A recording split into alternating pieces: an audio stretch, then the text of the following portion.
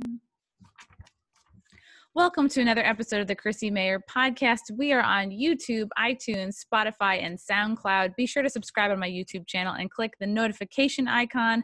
And if you're on iTunes, please go subscribe and leave a sexy or creepy review on there. I will be reading the best or worst reviews every single week, so long as they are five stars. Uh, I'm so excited to have uh, this guy on the podcast today. He is the Libertarian Party 2020 Vice Presidential presidential candidate. He is running uh, right now with Jo Jorgensen. He mm-hmm. hosts the My Fellow Americans podcast and also co hosts the Muddied Waters of Freedom podcast. Spike Cohen, welcome to the program. Hey, Chrissie, thank you so much for having me. I'm looking forward to it. Oh yeah, and I, oh look at you! You're so official with your your tags right on the side there. you're if you're on YouTube, you can see him, but if you're not, it's he has these really great graphics that say follow him on Twitter at real Spike Cohen and Facebook literally Spike Cohen. Yeah, Facebook.com slash literally Spike Cohen. I love that. It's like you had a millennial write your uh, your Facebook page. Well, that, like, so that's part of my intro on my show. I say, "Welcome to my fellow Americans. I am literally Spike Cohen." that happened. The first episode I had was live. I had no business doing the show without practicing first. I'm on there, I'm like, hi. And I said, I'm literally Spike Cohen. And it stuck, and oh I've been saying it ever gosh. since. So yeah, that's that's that my catchphrase. Literally Spike Cohen. Like I am literally shaking right now. I'm just making a martini. That's all. yeah, exactly, exactly. So Spike, you have recently uh, come under fire. People, I guess, saw some shirtless photos of you oh, that yes, you had on your social media accounts. Yeah. Mm-hmm. Why the heat for being shirtless? Thank you. So here is where this originally started. I got the nomination, and a lot of people in the party didn't know who I was. The delegates knew because they had been closely following it, but, but just, you know, I guess kind of casual libertarians didn't know because what I do with Muddied Waters Media is spread the liberty message well outside of libertarian circles. I don't want to be a libertarian show. I am now because all the libertarians watch me, but we want we wanted our shows to be topical and entertaining shows to bring people into libertarianism. There are plenty of, of, of, of podcasts and shows doing a terrific job of, you know, iron sharper, sharpening iron, messaging out to existing libertarians. We wanted to bring in people who had never even heard of such a thing. So because of that, I wasn't as well known as some other, you know, more prominent libertarian podcasters. And so people are now tuning in and finding out what I'm about. And one of the th- one of the things they saw was my profile picture on my personal profile was of me lying down at the beach in the water. And I don't have a shirt on because I'm in the water at the beach. Was it muddy water or just beach water? ah, well, it's sandy oh. water. But yeah, I mean, I guess if it were at a lake, it would have been muddy water. But so, you know, I'm in the water, I'm at the beach, and they're outraged. I can see this man's nipples. I am disgusted. How can we ever vote for someone who once took his shirt off at the beach? How can we and vote for somebody who has nipples? You know? How can you vote for a man who has nipples. It might be nipple envy. I don't want to say it's nipple envy, but it might have been. And so, you know, and, and I, I was kind of surprised by it. And so I went on to a friend's comedy podcast, two friends, the Chris and Jesse show with Jesse and Chris. That's what the show's called. And uh, so I was on the show and, um, you know, we had, I had the idea, you know, uh, I, I would start with a fully buttoned up shirt and it would pan to them and they would ask a question and while that was happening i'd unbutton a shirt. So when they came back to me there was one button down and that kept happening with each question until eventually all the buttons were off and then i just took the shirt off. So that's what people saw. And now meanwhile and so the joke was we stayed perfectly serious the whole time. I, I and then at some point i put a stuffed narwhal on my shoulder too no context at all. Was it almost and, like with each button, like that was a reward? Like what? Like you were just slowly revealing? well, it's like those strip strip tease games, you know, like if you, if you win that hand of, of blackjack or whatever, she takes her bra. Oh yeah, like we used to play um, strip flip cup in college. This was strip podcasting, yeah. Okay. And so and so it was, and the whole gimmick was like, guys, okay, yes, I'm a man. I have nipples. It's okay. Like I, it's okay. I, I have my shirt off. And yet the conversation was totally serious. We talked. That was right after George Floyd was murdered. So we talked about police brutality and the Black Lives Matter movement, and uh, you know, qualified immunity and and systemic racism, like all this really deep subjects. But I'm not wearing a shirt, and I had a, a stuffed, uh, sparkly narwhal. Uh, Stabby the narwhal on my shoulder, and uh, and so people, a lot of people got very upset. Uh, who is Spike Cohen? Why is he doing this? He's making a joke of things. This is why libertarians don't win. I, I was why libertarians had never won before. Um, and so, you know, all this stuff happened. And what's happened slowly over time is that a lot of people They got that. I got their attention with it. I got that shock, you know, that jolt that I wanted to give. Everything moving forward now seems a lot in contrast is much more serious because now instead of them giving me a hard time because I don't wear a suit and tie every time I'm on a on a you know podcast or a show, which would be inappropriate. It would look foolish. But instead of that, now they're saying, "Thank God he has his shirt on." So yeah, I'm a little upset that you didn't do this podcast shirtless. I've literally Spike. only done one shirtless show. I've been I've been doing podcasts, including my own, for years now. I one time took my shirt off one time there have been a handful of times i had it kind of buttoned down a little bit and i also i think part of the problem is it is it is chest hair envy it is chest hair envy yeah uh, not everybody a, can grow a full thing a full know? chest beard yeah, is what i have and beard. so and so i do think it's also chest hair phobia which is kind of chest hair envy those two things kind of go hand in hand. Some people um, are patchy. Me, I just wax my, all my chest hair off because mine is just so uneven. I'll just, you know, oh, I think if, it all. If I if I tried to if I tried to wax this, I think it would cause some kind of like neurological shock just from that much. I mean, because all of my it's all hair. And so, but anyway, so that's what that was. And so a lot of people, it's funny, people are still like, Hey, you got your shirt on. I'm like, I always do. Just that one time I didn't. Um, but yeah, so that's what that was all about. And it really did kind of reset things because it's like, hey guys, it's okay that I had a shirt off at the beach. It's okay that I had a shirt off on a podcast. This is okay. Every every president in the last 50 years there's a picture of him without a shirt on. It's going to be okay. Really? Okay, good. And you're just trying to get that out of the way I was right just at the getting it out of the way right out of the way exactly. And you should because being president ages you. So it's like if, if I'm going to throw a shirtless pic of me, I'm going to do it right at the beginning because if it's the middle at the end, like you're going to be weather beaten and stressed out and I get it. Exactly. Well, hopefully it doesn't come to that. I mean, er, Jo Jorgensen is an absolutely incredible candidate. She is running. She's the, the, my presidential running mate.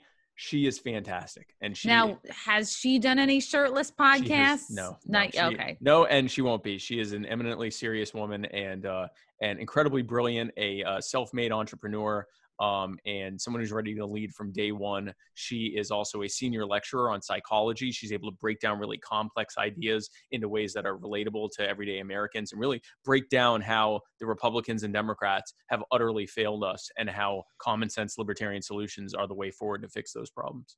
They really have. They really have. Um, I was always a, you know, I, I think I still am I, this is kind of embarrassing, but I think I still am a registered Democrat. Like I have to get on switching that. Uh, I've been meaning to for like a few years now. Mm-hmm. But you know, you kind of just grow up like a normal kid into college, and you're just like, oh, two party system. And I, you know, I'd heard of libertarians, but I just was like, oh, you hear that they're weird, or, or even worse, you hear that they're super right wing. And uh, you know, I didn't even know any libertarians until I met Larry Sharpe two years ago. Mm-hmm. Um, uh, my boyfriend's brother was working on his campaign for governor of New York mm-hmm. and mm-hmm. I met the guy and I was like, wow, he makes yep. more sense. He's friendlier. He's he's more fun to be around. I can actually talk to this guy and I never expected um, a politician to be somebody that was so accessible and friendly right. and like and you know empathetic and really listened. So I was like, oh wow, like and as I've grown up and my values have changed and like I've been working it's like oh I, am finding my values are, are, more and more libertarian um so like what would you say to the person who uh, you know i guess really does believe in the two party system but like how would you you know because if you say oh well everyone gets touchy about their party if you say if you're right. if, you, if you say to a democrat the democrats have failed you you get uptight you get like oh those are my people i have to defend them and uh, same thing with republicans so like mm-hmm. how would you try to or how are you and Jo like how do you try to reach the people that are maybe disenfranchised maybe in the middle maybe just aren't sure mm-hmm. there's a better way so what a lot of what we get is what you were just saying well i'm a democrat and we're doing the right thing but more of what you're getting is yeah i'm not a hu- huge fan of the democrats but they're way better than the republicans or you'll yeah. get on the Republican side, yeah, you know, Republicans don't really represent me, but those Democrats are scary. I don't want them to win, so I vote Republican. And what's fun to do is you can say, well, what don't you like about the Democrats? Whatever they say, you can point out easily how Republicans do and say the same thing. And they'll go, yeah, yeah, well, I don't support them, but those Democrats. And I'll say, yeah, but the Republicans do it too. It doesn't matter who you vote for, you get the same thing uh, a quote I just heard on the last show that I was just on, Libertarian Counterpoint. Uh, one of the hosts said, It doesn't matter who you vote for, the government still gets in. And Mm. the Republicans and Democrats have had exclusive control of pretty much every lever of power, certainly at the federal level, for the better part of 160 some odd years. They've created this. They have exclusively worked together. They have created a system that shuts out all other options and tells you that in a nation of 350 million people, you have two options. Both of them suck, but you have to vote for one of them or the other one's going to get in. Right. And It's a you're referring game to like they created the Fed, right? Yep. And so how does that trickle down to like the average person who who thinks, okay, well, I don't know, those guys don't affect my life. They're way up there and I'm way down here just working my job every day. You know, how how would you explain how how that's relevant to like the average person? You have to take them on the journey. So it, what matters is, and this is, and Larry's the template for this. Larry is all about you. I love that you said empathetic. That is Larry's thing. Larry is empathy. Go to where they are from their precepts. Listen to what they have to say instead of coming to them and saying, "I know what your problem is." You haven't heard of my libertarian argument yet. Instead of doing that, because that's what we do, libertarians tend to think that we can craft, if we could just craft this perfect argument and present it to the public, the public will go, this is the best argument I've ever heard. It is so logical. I am inundated with its logic. I'm now a libertarian. That's not how it works. People want to know what you're going to do for them. They want to know how you're going to benefit them. They feel like their vote is a vote for someone that's going to help them. What are you going to do to help them? And when we start trying to talk about self ownership and non aggression and whatever, it's not connecting. It's theoretical. That's It's like theoretical. Yeah. It's this weird, yours, you sound like some kind of egghead. What are you doing? Larry and, and I do as well. Larry reaches people where they are. He goes into their spaces from their precepts, listens to what they have to say, and then presents the libertarian solution to that. So he for the- meets them where they are He instead of where they- trying to bring them to where he is. Exactly. He meet well. The goal is to bring them to where we are, but you have to meet them where they are first, and not halfway. This isn't a negotiation. You're the one asking them for stuff. You have to meet them all the way where they are in their Mm. spaces and from their precepts. So the way I get people to the Fed, which ultimately is how government is able to fund all these terrible things. You start with what they care about. If they care about healthcare, you talk about how government is destroying healthcare. First of all, you empathize with them on their situation. You don't try to tell them stuff like, well, you know, healthcare is not a right, because they don't care about that. If they say healthcare is a right, just go with it and say, yes, you should be able to get the healthcare you need. You should be able to afford it. And it's terrible the system we have. If they're most worried about systemic racism or police brutality, you, Yeah. you reach them where they are on that. And you take them on the journey because at some point, when you explain the breakdown of how government has created barriers and created a system to keep most of us down at our expense for the benefit of a hand, relative handful of well-heeled cronies who own everything, at some point they're going to say, how do they get away with it? And that's when you answer it. The reason that they're able to do it is with the Federal Reserve. The American people would never agree to the kind of tax increases that it would take to directly pay for the American empire abroad, the prison industrial complex here, the militarized police state, the massive warrantless surveillance state, all of the things that are put in place, the occupational licensing laws, the regulatory burdens that are put on people trying to get ahead in life that essentially criminalizes poor people that are trying to get ahead uh, without you know doing it illegally once you what and, and we wouldn't agree to taxes to pay for that so instead they have the federal reserve print out Right. endless reams of money and i know i'm telling you something you already know but no, know, you're telling me lots of things I don't know. they, they have the Federal Reserve print out endless reams of trillions of dollars, which they immediately use to buy treasury bonds so that the government can pay for all this stuff. And what All and then this stuff meaning the the wars, the prisons, the the police brutality, the militarized police state, the war on drugs, the massive uh, surveillance systems, uh, uh, uh, the the uh, take the the cost of the takeover of healthcare. All of that stuff is financed by the Fed because we never agree to pay 80% tax rates to pay for it up front. So instead, they float it on the Federal Reserve. The Federal Reserve buys treasury bonds and we have to pay that back with Wow. interest. 40 year bonds. Every time they take out a new bond every day, that's a debt that we, our children, their children, and maybe even their children will be paying off with interest. And it's worse. It gets even worse because when they print out all that additional money and inflate the money supply even further with more Federal Reserve notes without any increase in actual value, that reduces the value of every single Federal Reserve note that we all have in our wallets and in our pockets and in our bank accounts and that we use to buy everything because we have to, because the government has made that a monopoly. They have monopolized the issuance and, and distribution of currency. So we have to use it to, to buy the things that we need and to pay each other and, and to reimburse each other. That's why the cost of living goes up every year. It's not because that's the nature of things. Back before the Federal mm. Reserve, the cost of living went up and down with supply and demand. The cost wow. of this would go up, the cost of this would go down. Generally speaking, the cost of living had a relative equilibrium. It might go up half a percent, 1% per year. 1913, the Federal Reserve is created. Two things start. First of all, or actually three things start. First of all, the government spends as much money as it wants because now it can have endless amounts of money lent, lent to it.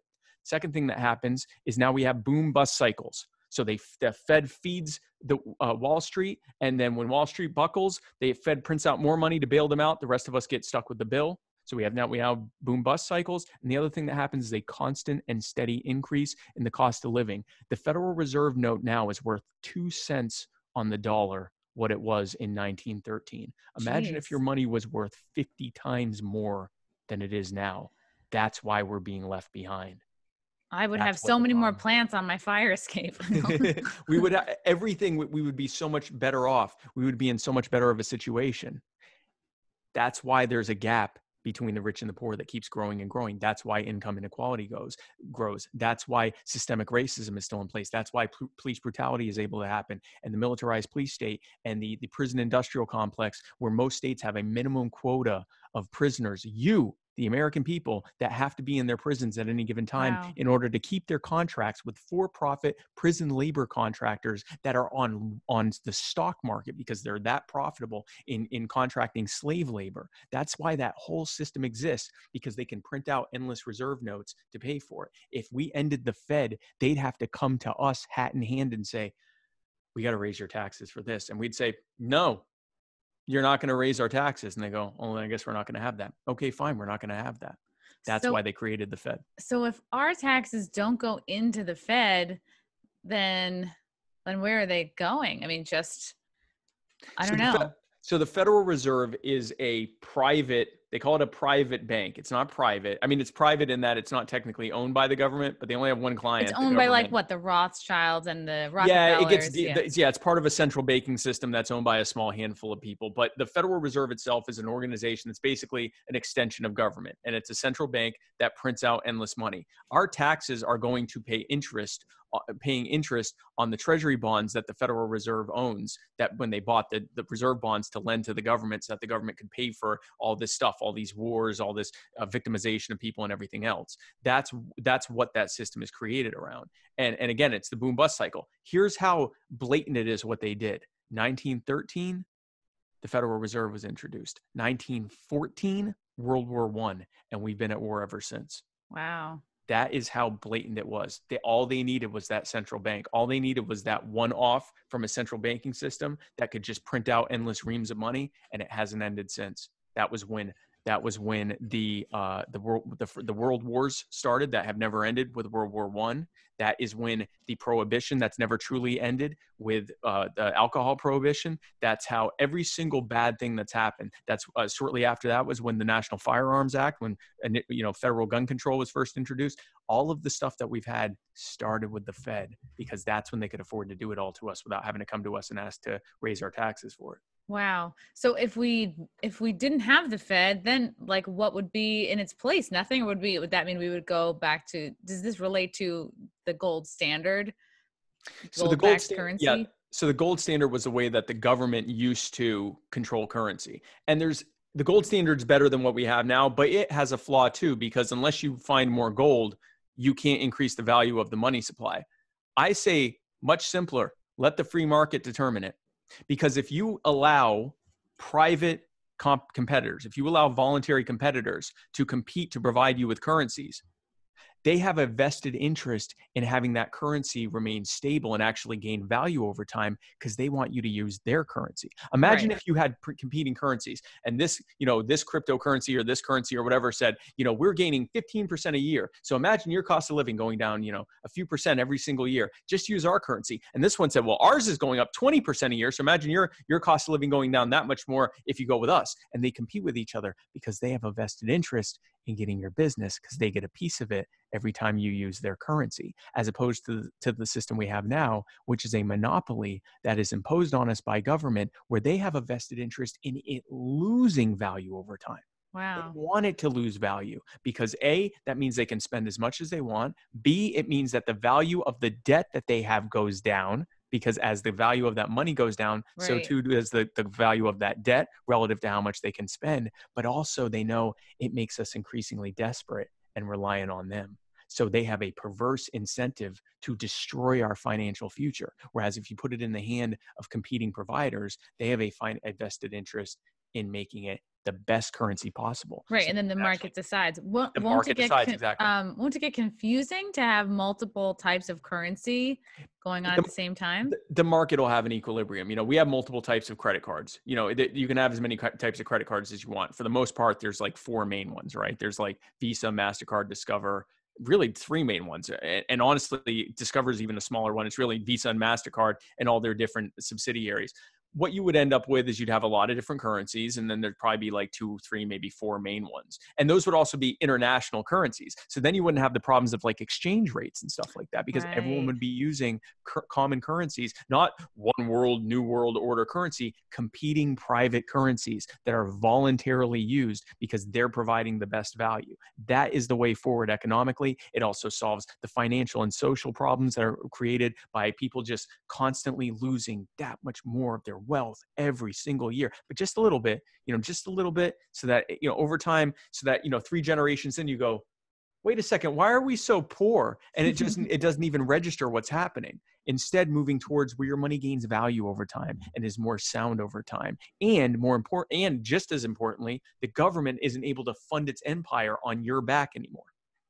Do you think this is something that could happen in a libertarian presidency? That is what Jo Jorgensen plans to do. She is plans this, on di- okay. dismantling the system, dismantling the wars, dismantling the war on drugs, dismantling the the the, the police to prison industrial complex, dismantling the the militarized police state, and and healing the rift between the police and the public, which we could do an entire episode just on that. Oh yeah, all, all the rifts that have been created by qualified immunity and civil asset forfeiture, and uh, you know the militarized uh, uh, the military surplus program, and all of this stuff.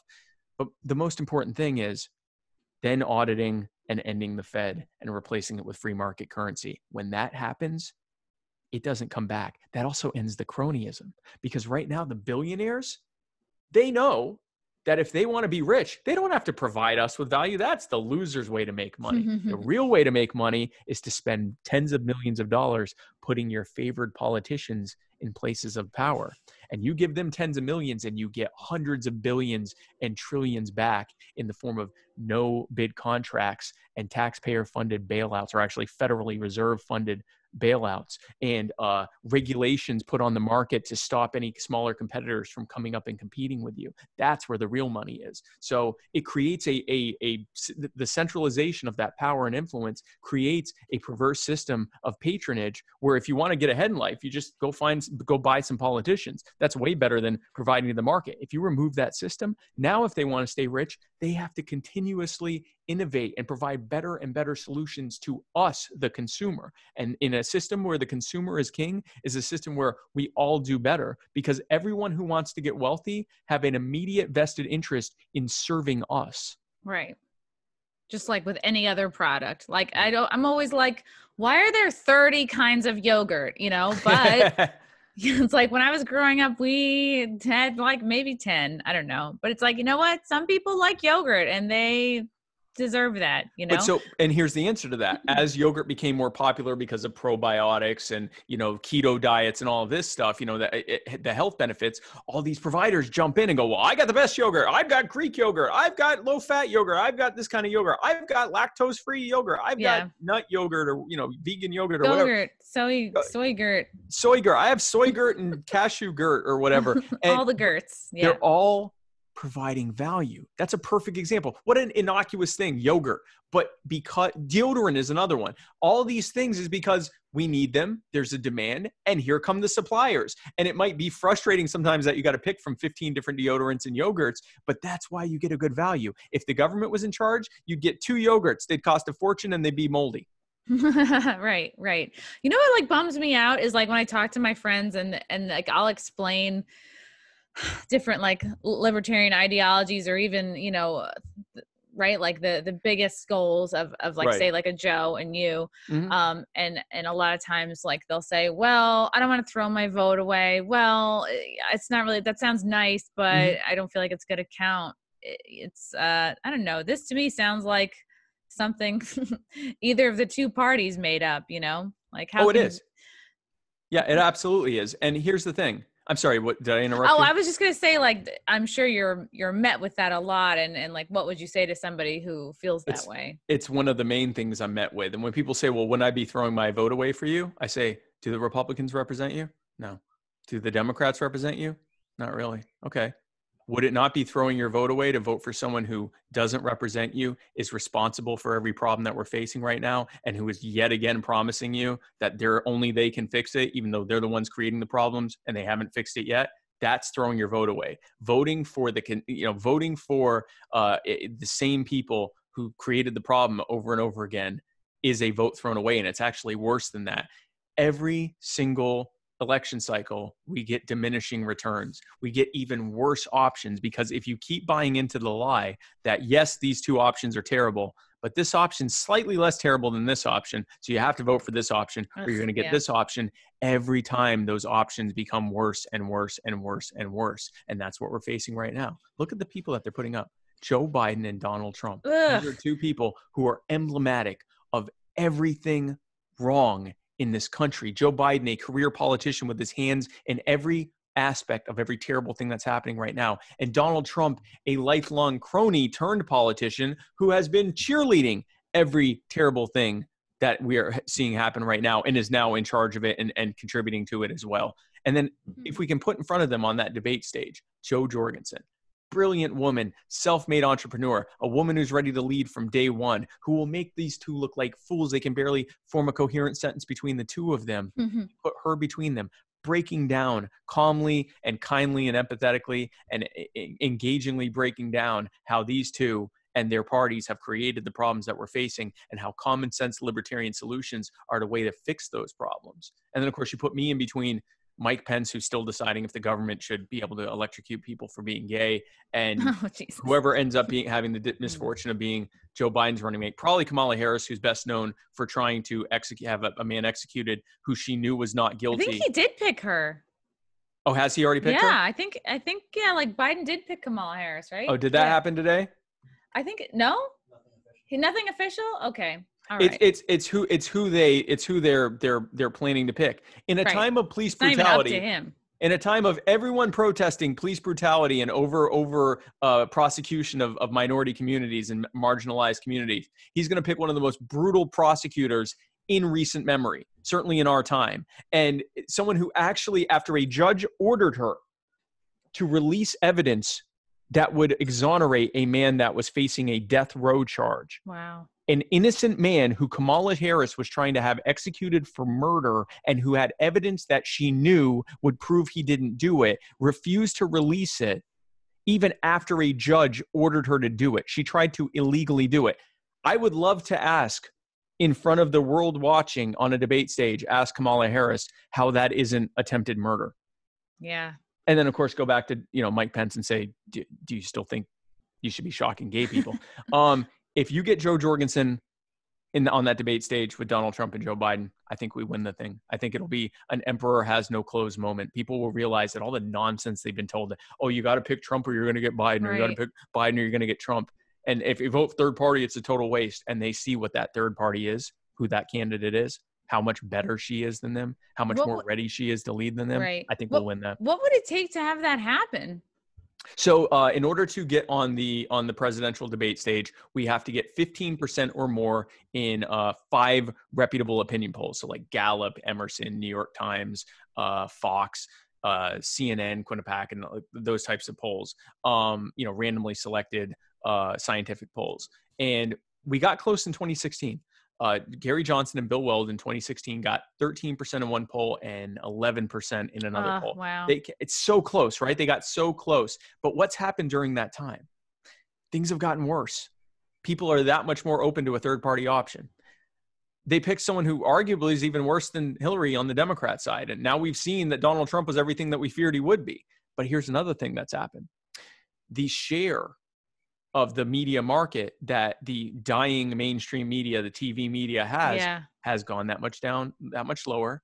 And the share that the social media has that we are do much better on, that we have a much better constituency on, is that much higher. And so I believe those things combined will close the gap where uh, Jo uh, will be able to get 15% or more in those opinion polls. We have until shortly after Labor Day. So pretty much we have by the end of the summer to, to get her 15% or more in those opinion polls. I believe it'll happen. And when that okay, happens, good. it's Yeah. all, all bets are off at that point. I believe we're going to win that. Have you guys been facing much censorship? Because I know a lot of my uh, friends, you know, have been dealing with a lot of censorship as far as social media goes. If they're just posting anything that's just going against like the liberal mob, um, Not so much. We've been we've been able to pretty pretty much get everything out there. I, I think because we are actually like registered political candidates, I think they're a little bit easier on us okay. uh, because they because that would be like an obvious like they're censoring political candidates type of thing. Well, they were. Facebook admitted to this. This uh, this video with Project Veritas came out, and I actually did uh, interviewed them in a previous podcast.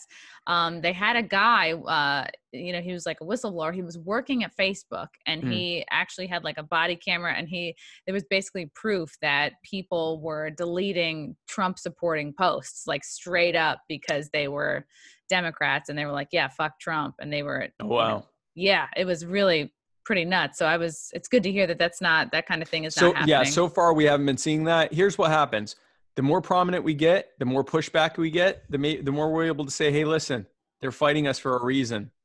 Someone asked me. Yeah. Someone asked me, you know, if we get elected, Congress obviously is going to immediately move to try to impeach us or to impeach, uh, you know, Jo. And what is our reaction? Good. If we will have built up enough of a groundswell in this country that we won an election, and their tin-eared response response is to try to remove us immediately for no reason, that's only going to blow up in their faces. And I'd say the same thing with any other attempt. You know, Gandhi said first they ignore you, then they laugh at you, then they fight you, and then you win. We're right now in that in that you know ignore slash laugh phase, but that laugh's starting to get nervous. We've been putting out Hmm. viral videos that all of a sudden those laughs are starting to sound a little less laughy and a little more worried and concerned. And uh, so we expect the fight to happen. Um, no one can stop an idea whose time has come, and our idea, the time has come for libertarian ideas to fix these problems. Absolutely. I, re- I remembered when Jo came out, when she like announced she was running, didn't she sort of like borrow the I'm with her hashtag briefly? Eh, so other no what happened was other people did it so after she Oh. got the nomination other people were saying oh i'm with her i'm with her and we flipped it around we're like no no no no she's with us Ooh, that's And so, so- much better. and so that's what we've been using some people are still using the i'm with her and you know we can't stop people from doing that but we're saying no no no she's not hillary she's with us she's she ran because she's with us so that's been a real popular one that's Um, way better. And yeah, definitely for the for the people out there who really just want to vote for a woman, like you have those votes too.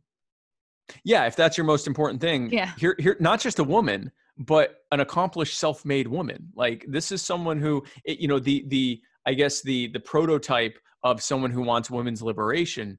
Here you go. Here is someone who has built herself up serial entrepreneur started multiple businesses successful you know multi-million dollar businesses is now a senior lecturer at a prestigious college. Like this this is you know this is the uh this is the prototype for the successful self-made woman. Um, if that's you know if that's your uh, you know important thing to you. And if it's not an important thing to you she's just on her own merits an, the, the the best choice for president She definitely has a very impressive resume for sure. And I, you know, I know some folks folks have seen like Vermin Supreme, who I, I think you two were running together before you jumped in with Jo. And then Vermin Supreme, like he wears a boot on his head all the time. and then they say you shirtless. You know, some people might think, oh, we're not going to take the Libertarian Party so seriously because we got a guy with a boot on his head who wants to give away ponies. And then Right. we have shirtless Spike. we have shirtless Um, spike So here's the thing: forty something like around forty percent of eligible voters don't vote. They don't participate in the system. They don't want to hear a thing from a politician because they recognize the system is designed. One time I didn't vote because I was going to be late for a yoga class. Well, and that's the thing. Not good. And, and, and the real reason there was it wasn't important to you. Like it was, it was the first thing that you would give up because you recognize It was Oh. the second Obama, um, the second time Obama was running, and I'm like, he's gonna win. I'm in New York. I, you know, my back hurts. I gotta get to yoga. and that's what we hear from people. It doesn't matter who I vote for.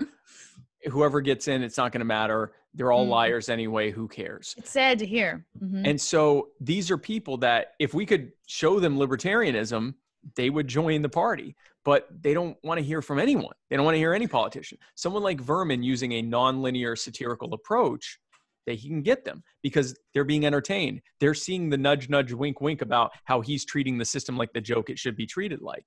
And Right. then he can bring them in and then they can find out about libertarianism. He has done an effective job at bringing a lot of people to the Libertarian Party and the movement. We are grateful for that. And we are grateful for Vermin in helping this campaign. Jo and I are running on a campaign to change that. Where the political discourse is not a joke anymore, where where people are being taken seriously by and, and not being treated as pawns in a cynical shell game between two people who are a whole, two groups who are holding hands and screwing everyone and creating a system that is cloistered around them and protects them and their favored cronies. And that's Right. what we're running on. And and you know satire is one way, way to reach people. Serious messaging is one way to reach people. You know edgy internet meme messaging is one way to reach people. We're not leaving Yeah. a single chip on the table. Jo and i are running a campaign to reach every single american in this country so, uh, so are you guys on TikTok then?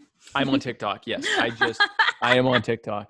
I am on TikTok. I don't have a lot on TikTok, and there's actually a few unofficial Spike Cohen TikTok pages, and they're Ooh, putting all sorts of fun, edgy stuff out there that I have no control over. Don't be tricked by the fake spike TikToks. Don't be ficked. by- and- And one of them is actually real Spike Cohen. It's like that's not, Wow, they beat you real. to it, Spike. Yeah, but but reclaim it. they they beat me to it. But they're also putting out pretty cool stuff. It, it's Okay, fully good. in support of me. It's just it's very edgy. You know, kid. You know, it's I I believe someone in his early twenties who's just putting out like really edgy, uh, perfect for TikTok campaign stuff. Awesome. Uh, for for our campaign. So So if you were like, I, I think about how I would explain to like a brand brand new person who doesn't know anything Mm-hmm. about the Libertarian Party, I would say, okay, well, generally they are socially liberal, right, and perhaps more fiscally conservative. Is there a better way? Like, if someone is listening to this and they don't know anything about libertarians, like, how would you, in a kind of like easy way, uh, sum it sum it up? so if we're talking because there's two when someone's asking what's the libertarian party about there's two different things they might be asking one is what are they here for how they how are they going to benefit me Or how do I other- know if I'm yeah, eh, libertarian? yeah, How, yeah. What? How is voting for them going to be a good thing for me? Uh, which, if you then get into, well, we're we're liberal and conservative, and what it, it- you're kind of losing them because they're like, I, I wanted to know how they're going to help me. Um, and then the other way that they're asking is like, what are they about, like philosophically? So if they ask the, you know, what are they about? How are you going to benefit me? I say the libertarians recognize that the Republicans and Democrats have created this mess of a system that has left you completely behind, has left most of us completely behind to benefit a very small handful of very well heeled, powerful people. And we seek to completely dismantle that and turn it around on its head, where you are the one being served, where your needs are the ones being met, and where everyone has a financial and, and, and, and has a vested interest in serving you, and in which those cronies are torn down and brought to heel where they belong. Um, and that's a very powerful message. Um, if someone's asking philosophically what I believe, the, the, the elevator speech version I give is I say, you know, libertarians believe that you own yourself, which means that you own your life and your body. And that means you own your labor. And that means that you own the product of your labor, your property. All of these things belong to you. You enjoy the exclusive ownership and enjoyment of them. You can give them away as you wish. You can sell it as you wish. You can share it. You can lend it. You can do whatever you want with these things. Like if you had a farm, right? Then like you wouldn't be controlled. It's does- your farm. Does that apply to farmers? Okay. It- It would apply to everyone. It applies to farmers because it is their sweat and toil that has led to them having this farm, or someone gave it to them on their sweat and toil and had every right to hand it off to them. So now it belongs to them rightfully. So and that we believe and the reason that we and so we believe that any person trying to take from anyone else trying to harm anyone else or take their things is committing an act of aggression. And that we believe aggression is wrong not just for moral reasons but also for utilitarian reasons. It doesn't work. If i can take from you and everyone else that's watching and listening to this uh, if i can take from you whenever i see fit i'm not going to be a good steward of what I have. I'm not going to make good decisions with what I have because I can take more from you whenever I want to. And you don't value it. Steward, I don't value it, and I can have more. It's unlimited money. I can have whatever I want because I can just take and take and take and take. And you're not going to be as good of a steward of what you have because I can come and take it from any moment. So you just go ahead and, and use it as as you can while you still have it. And, and we recognize that all of the bad big government programs and policies that have come from the Republicrats is nothing more than a system whereby they have claimed the authority, the sole authority to take from all of us whenever they see fit. That's why their ideas lead to bad, inequitable, harmful, and abusive outcomes, is because they're designed to. It's wow. designed to keep us down to to their benefit and to keep us scared and unable and and, and in a situation of not being able to actually get ahead to their direct benefit. Interesting. Interesting stuff. Spike, some people have called you an anarchist. Mm-hmm. Um, what do you think is appealing about the LP for anarchists? Well, anarchy is, in my mind, the logical conclusion of the idea that we own ourselves and that we should only engage with each other voluntarily. If that is the case, then ideally all things would be provided in a free market. Any service that's provided by government, uh, ideally, could be provided in a free market. Now, with that being said, that's not what I'm running on we are running on, you know, and, and Larry, you know, you talked about Larry. Larry has talked about the fact that, you know, if he had his druthers, there would be no government and we'd all just be, you know, voluntarily interacting with each other. Larry, as much as anyone else, you know, running for office in New York, uh, uh, knows that we are nowhere near anarchy. We are no right now. The conversation is people arguing over whether we should be traveling towards ever growing tyranny at twice the speed of sound or three times the speed of sound. Mm. We need mm. to be completely reversing the direction that things are going and moving it towards liberty. So we're not running on anarchy. We're running on ending the wars. We're running on ending the war on drugs. We're, running on ending the uh, ending the genocide in Yemen. We're running on ending systemic racism and police brutality. We're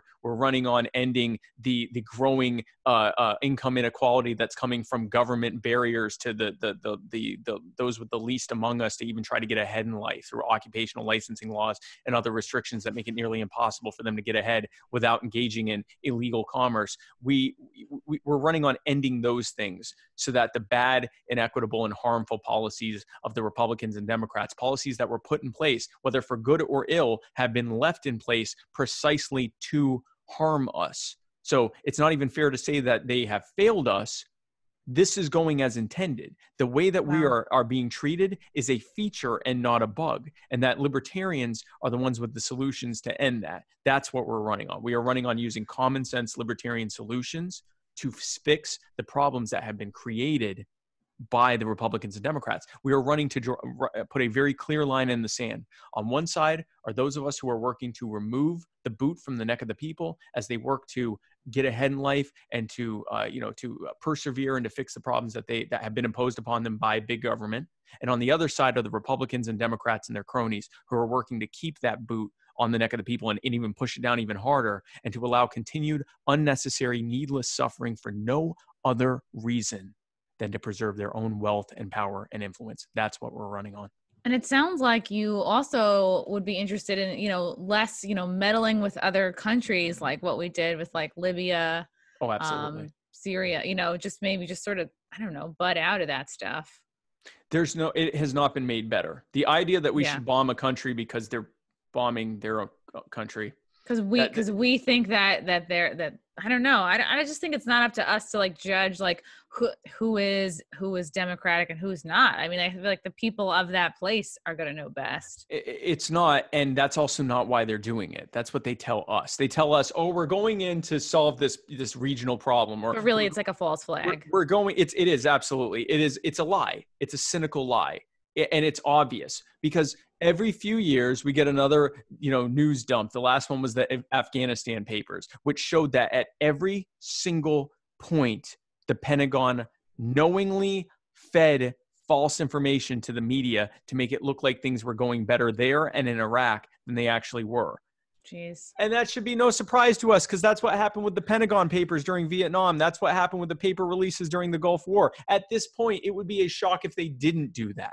Of Yeah. course, they do that. Every few years, we find out that whatever the new terror group is, sure enough, was partial, at least partially created or funded, Funded, or trained mhm. or or started by intelligent military, you know, uh, U.S. intelligence services Yeah. and our allies' intelligence services like Al Qaeda and Like ISIS and the rest mhm. uh, uh, Hezbollah and Hamas, all of these things, we know this. And for us to even pretend that they're doing it for any other reason than to exert their control over the regions, to funnel money to their favorite contractors like Raytheon and Northrop Grumman and Boeing and Blackwater and the rest of them, to keep us scared so that we think there's a boogeyman that has to be stopped, which Yeah. allows us to allow for more and continued infringements on our rights. Well, I don't like no knock raids, but what if my neighbor's a terrorist? I guess they need to be able to do it. That's why Yeah. they do it. It has nothing to do with protecting anyone or making anyone free or liberating anyone or anything like that. What are your thoughts about Chaz? Do you do you think number one, what are your feelings on Chaz? And Mhm. do you think Chaz is more anarchist or maybe more Marxist? It's really hard to tell right now. Um, now it's called Chop, which is Chop! the cap- it- yeah, yeah. Now like it went, salad. Oh, yeah, right, chop, like right. a chop. Yeah, they're they're they're they're they're evolving. So they went from the Capitol Hill uh, autonomous zone Chaz to the. And then they realized they were not autonomous because they needed supplies. well, and that yeah, they weren't they weren't autonomous, and and you know it sounded like they were like, hey man, I'm Chaz. But then also they changed now they changed it to the Capitol Hill occupied protest, which is probably more accurate. I am having a difficult time getting a good read on Chop because I have people I greatly respect who have been there, who have completely different takes on what's going on. Uh, and I, many different people who have gone there and have, you know, reported back to me, you know, because I'm saying, what's going on? I need to be able to have an answer. And I'm hearing everything from this is the beginning of a peaceful revolution across the country to this is just a bunch of, you know, uh, this is just a bunch of, you know, bomb throwers who have taken over a, an area and are, you know, uh, manipulating everyone and, and, and uh, intimidating everyone and everything in between. So I really don't have a to good I'm on drugs. yeah it's real it's it's a tough Yeah. we're, i'm getting hearing everything in between and so what i will say is that hopefully whatever happen is happening there uh, is either happening peacefully or resolves peacefully uh, but in terms of the details i'm just getting so much conflicting information. There's a true haze of, of war of what's going on there in terms of not really there- there are so many different vested narratives about what's going on there that i think it's allowing people people are allowing it to cloud how they're perceiving things there. Do you think they are entitled to be there or do you worry like wow they really are maybe plugging up some of these businesses that are within these blocks and kind of messing with the people who live there. It depends entirely on what's happening there. If if they're going in and you know setting up shop and and basically doing shakedowns basically taking the role of what the, the city does uh if it, you know with, with their taxes and their and their police and everything else if they're just you know look at the same boss uh same of the as the old boss i don't think that's a good thing and and i don't think it's good I, I don't support anyone intimidating anyone. If they're really just going in to, to keep the police out and do this you know peaceful you know this peaceful occupation and everyone's happy there then i'm not sure i have a problem with that. So again my out my belief on what they're doing and whether it's good or not depends entirely on what's actually happening there. And where you are. I right yeah I because i've sus- seen videos of people like setting up you know different bouncers and people who act like cops you know? There was this video i saw. There was this woman she was like oh can anybody who's white who's uh, had experience with security like come deal with this? And it was funny because it was like oh it sounds like she is looking for a cop. Um but it just was like kind of hypocritical sounding. Yeah it's it's it's all over the place and i've seen where some uh i've seen stuff like that. I've seen where some uh, right-wing groups like proud boys and others have tried to go in there and start a fight and have basically been shouted out. Um so it's it's it's real there's so so many conflicting things that are happening there that i really don't have a good take on what's going on. And Mm. and I, I, I at least not a good enough take to give a, a solid opinion especially since i'm running for office. Right. good answer. Good answer. Um, yeah, I know that the videos are very entertaining to watch. oh yeah And to me, it just looks like, I don't know, it's just kind of like LARPing. more than anything. There are certainly some LARPers there. I, I, have, I suspect that it's probably a combination of things. There are people that are doing great things, peaceful things that are trying to create an, you know, an amazing thing to move forward from. And there's some people in there to be, you know, violent jerks. And there's some people that are just LARPing. And it's probably a combination of things happening there. Yeah. I was like, didn't I see a lot of you guys at the Renaissance Fair last year? um, interesting. Interesting. Um, yeah, it must kind of take the. Do you feel like the pressure's off? Like, okay, you're not running for president, you're running for vice president. It's um, I don't know. Does it feel any less like there's less pressure on you? Well, I was never running for president, so I don't know what that pressure's like. I've always right, right. You've never done that, right? But um, I don't know. I, the pressure obviously is is much higher than it was when I was just running for the nomination. Um, obviously, people look to the top of the ticket, so I'm sure there's way more pressure on Jo than on me. Um, do I think I, there's probably more pressure on? There's obviously more pressure on Jo than on me, but I, I, I don't see it as a. I guess because I don't have that reference of what it would be like running at the top of the ticket. I can't That's tell true. you. I know yeah. that the stakes have just slowly gotten higher as I've been going on, but I've also got a really com- a, competent and growing team under me that's making it easier for me to just focus on this kind of stuff and not have to worry about the back end stuff. Um, so no, I'd say I this has been my dream. I wanted to use this run to leverage it to spread the message of liberty far and wide and try our best to win the election at this level and then also, you know, cuz the more votes we get whether we win or not, the more you know the better we do with the down ballot races and to just kind of help in a grassroots way grow the libertarian party and the libertarian movement on all fronts. And i've had uh, you know a growing number of opportunities to do that and i'm, I'm loving every second of it. You mentioned a lot of issues that um, your and jo's campaign are, are going to focus on but what would you say if you could pick like maybe the top two or three that you would be most that you think you guys are going to most focus on? Uh, I, I I hesitate to do that. I, I guess the three top ones would be end the war on drugs, um, get government out of healthcare so we can actually afford healthcare, um, and then I'm not sure. I, I, it would be a tie between ending police brutality and, and ending the militarization of the police and ending the wars in the military-industrial complex. The thing is, it's hard for me because it's such a holistic thing where really all of them feed into each other. I, It's hard to really like pick two or three things, but I guess those would be the top four things. What would a better healthcare system look like, or what? How how could we get there? It would look like a system in which pharmaceutical companies couldn't hide behind patent protections and jack up the price of their drugs a hundredfold or a thousandfold.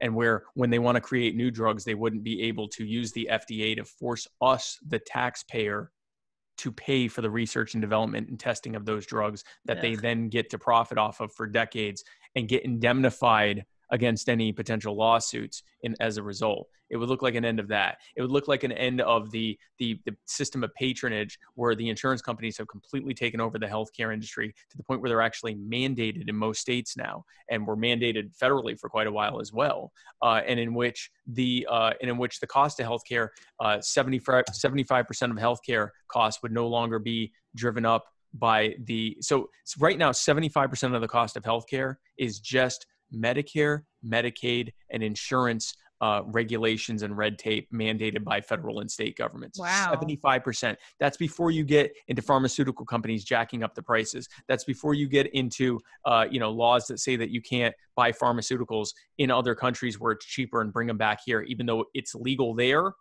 and it's legal here, but crossing a line is not legal with it. Um, ending, ending those things drastically redu- ending uh, certificate of need laws where uh, hospitals have to scrape and beg uh, in order to be able to build a new hospital in a region for no good reason. Well, there's one good reason because the providers that are already in that region don't want to have a new competitor. That's why wow. that rule is in place. All of that ends. Government, federal government gets out of healthcare, which necessarily reduces the cost of healthcare because now instead of pricing being decided by major healthcare provision companies and pharmaceutical companies and uh, the government and Medicare and Medicaid actuarials and insurance companies. Now the cost of healthcare is being decided by the consumer and the provider, and that's it. So mm. that that that's how you get you get government out of healthcare. The pricing goes down naturally. Well, it sounds good. I hope it's doable. Yeah, I hope that people take away, you know, if nothing else, that voting for the Libertarian Party is not just throwing away your vote. Because guess what? If enough people throw away their votes, then we can have like real change. If we know? don't win, throwing it away into something better. If yeah. we don't win and we get second place, I will enjoy the opportunity to say, hey, you know, you know, like let's say that the Republicans came in, in third, going, hey, listen, we could have won this thing if that were, if Trump hadn't stolen so many votes from us. But no, I, I the, right. The, yeah, the, the the fallacy of the wasted vote is just that, and it's easy to say to people, do you like your options? No. Well, then why are you throwing your vote away for them? Exactly. That's it. Spike, are you married or seeing anybody? I'm curious to see how all this is affecting your your personal life. This I am married. My, I've been okay. married to my lovely wife for uh, we had our anniversary, our 10th anniversary back in March, Aww. and uh, we've been together for almost 13 years, and uh, we've done pretty well. I mean, my my uh, my manager and my team make sure that I have lot I have you know a certain amount of what they call it on my on the calendar. It's called spike time Oh, and, uh, spike time. And it's just time that I can spend with my wife and my dog and, you know, in just enjoying life. It's it's not a lot. I mean, it's mostly sleep and a couple of additional hours and, you know, eating and stuff like that. But to make sure that I'm still connecting with my wife, that I'm still connecting with my family and I'm still have a, you know, I'm obviously more busy than I've ever been before, but still having that time carved aside to be able to spend time with family. So so far we've been doing well. Uh, also, it's it's you know it's easy to be able to say to my wife, "Hey, would you like to fly to Orlando and then to you know Vegas and, and all that stuff?" So I mean, there's there's that aspect to it too. Uh, she is definitely my biggest supporter, and uh, but we we've done well. We're we're we're trying. We're being cognizant of the fact that this could easily turn into a, a strain if we aren't cognizant of it and recognizing it and making sure to put our relationship first. Yeah, yeah, that can so easily you know, because because it's probably way more work and more. It know, is a lot of work. marriage is a lot of work in general. Oh yeah. Th- this this adds a, a, layer of difficulty, but I also have a really great team that's making sure that our you know m- my personal health, the personal health of our team, and our relationships matter uh, you know are, are being put forward because if we do all of this and then you know lose what matters to us what, what our lives were built around what we were doing all this fighting for in the first place then what did we profit so yeah you need spike time we need spike time hashtag make spike time great again or maybe if you you could have your own tv channel and call it spike tv it oh spike wait time. never mind That's well, already... they they don't call it that anymore, so I guess I could call it that. Oh, they but... don't. God, I need to. Yeah, no. I need to get with it. Um, Spike, if people want to learn more about you and um, your party and and all about the issues that you care about, where can they go? You know, where can people follow you other than the plugs that you, uh, the handles that you have here? Where should people go to learn more? So if uh, if you like what you heard, you want to find out more, you want to join the team, you want to volunteer, you want to help, uh, our website is joj2020.com. That's joj2020.com. Uh, we have a, a, volunteer form on there that you can fill out to join our team. We have a big donate button. We would love any contribution you're able to give. Um, if you're able to join the Jorgensen, the Jo Jorgensen Spike Cohen uh, Facebook group, we're, we're 60,000 strong and growing by about 10 oh, to 20,000 a week. Yeah, it's grown crazy. Yeah, yeah, yeah. It's, it's, it's exponentially growing. That's the Facebook um, group? That's a Facebook group. It's called wow. Jo Jorgensen Spike Cohen for President and Vice President. If you type in Jo Jorgensen Spike Cohen, you'll find it. It's huge. Um, so you can join that. Uh, if you want to join the Libertarian Party, um, lp.org slash join. Uh, and then if you look up your state and, and, and, local Libertarian Party affiliates, most of them are either free to join or very cheap, like $5, uh, $5 pledge. Um, that's where most of the campaigning is going to be happening at the grassroots level. Uh, but yeah, if you'd like to join us, joej2020.com. and uh, we would greatly appreciate if you want to sign up and be a volunteer and we would greatly appreciate any any donation or contribution that you're able to give sounds good. Spike thank you so much for coming on. Absolutely. Thank you for having me Chrissie. Of course really of course. it. anytime. Bye. Bye